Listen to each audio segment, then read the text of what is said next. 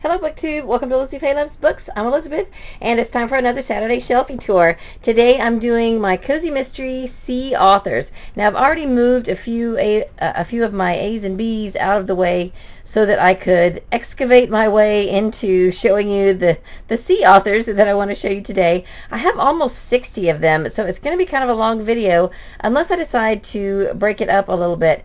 I was toying around with different ideas for dividing it in half at first I thought I might break it up and show you this week the authors that I've read and then next week show you the authors that I haven't read.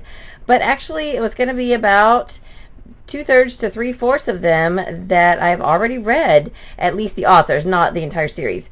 So I got to looking at it and realizing that my Laura Childs books are almost half, so I may decide to do those in a separate video. I don't know. Let me show you everything else and we'll see how long that is and then we'll see if I want to add those in at the end and if not then I will show you those next week. So let me get a little closer here and we'll start with the first one. Alright, so let's start out with Agatha Christie. I don't collect Agatha Christie books. In fact, I think this is my only print copy. I've got a couple of audiobooks of Agatha Christie that I've gotten at library sales and someone gave me this one. It's The Big Four. It's a Hercule Poirot mystery. And even though I don't collect them, I haven't read this one, so I just decided to go ahead and at least keep it until I read it. I have two books in the Rebecca Robbins series by Joelle Charbonneau.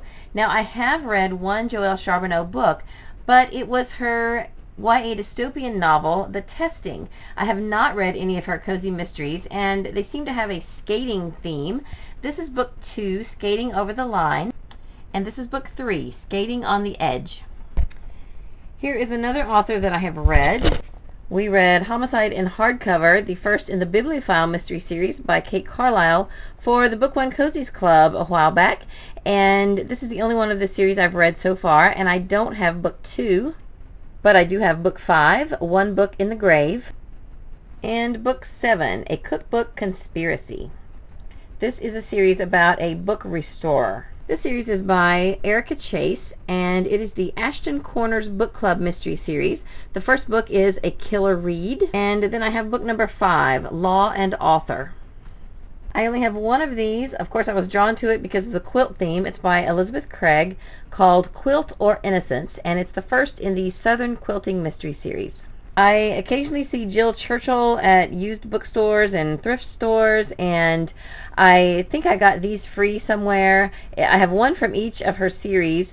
This one is In the Still of the Night, and it's a Grace and Favor mystery. And this is A Quiche Before Dying, a Jane Jeffrey mystery. I haven't decided whether I'm going to collect Jill Churchill mysteries or not, but I am hanging on to these until I at least try one out just realized I have one Jill Churchill in hardcover. It is a Grace and Favor mystery, and it's called It Had to Be You. I believe last year during March Mystery Madness, Patty from uh, formerly of I Smell Books, now of Patty's Book Nook, uh, was reading a Bookmobile Cat mystery, and I remembered that, and when I saw this one at a book sale, I picked it up. It's by Laurie Cass, and this one is called Cat with a Clue. And this is book number five in the series, but it's a series that I definitely want to read, so when I saw this one, I decided to go ahead and pick it up. And of course, I'm on the hunt for book one.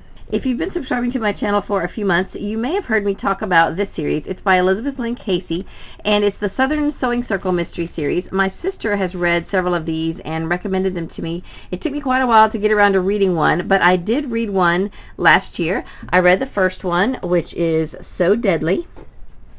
And this year, I hope to get to at least the next one, which is Death Threads.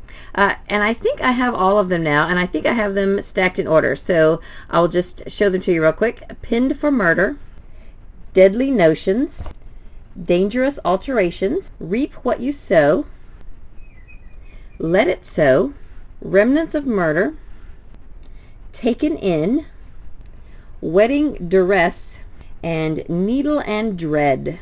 From the Chris Cavender Pizza Lovers Mystery Series, I have A Pizza to Die For, and this is book number three. And in hardcover, I have Rest in Pizza, and it is book number four. I have several books in the Cleo Coyle Coffee House Mystery Series. I have On What Grounds, and I believe this is book number one. I have not read any of these books. Uh, I did start, I think I read the first chapter in the first one, and it sounds really good. I just haven't gotten to it. This is book three, Latte Trouble. Book four is Murder Most Frothy. Book six, French Pressed. Book nine, Roast Mortem. And book 12, Holiday Buzz. I also have one from this series in hardcover. It's Espresso Shot, and it's book seven. This one is a Christian mystery. I have not read anything by Colleen Coble, and I'm not sure if this one would count as cozy or not, but it fits on the shelf, and I was out of room on my Christian fiction shelf, so I put it here. This is Cry in the Night, a Rock Harbor mystery, and I believe this is book five in this series. I have seen this particular book in lots of different sales and uh, used bookstores and everywhere and in just a lot of places. It must have been mass produced, but I have not yet been able to find the first few books in this series. So it looks really good. I'm hanging on to it for a while and I would like to read the series. I may just have to go ahead and check them out from the library at some point, but I'm going to hang on to this for now. I forgot about this one. This is the only one I have from the Dog Lovers Mystery Series. It's by Susan Conant, and it's called All Shots. I think the rest of my C authors are Laura Childs books. So I'm, I'm going to go ahead and cut this off right here. I'm going to show you my Laura Childs books next week. She has three different series, and, and I have quite a few from each series. So I believe I'm just going to put those on hold for now because I don't have a lot more editing time today. I've got some other household projects I need to do. So next week we'll look at Laura Childs, and for now, I hope you're having a great day, read a good book, and God bless you.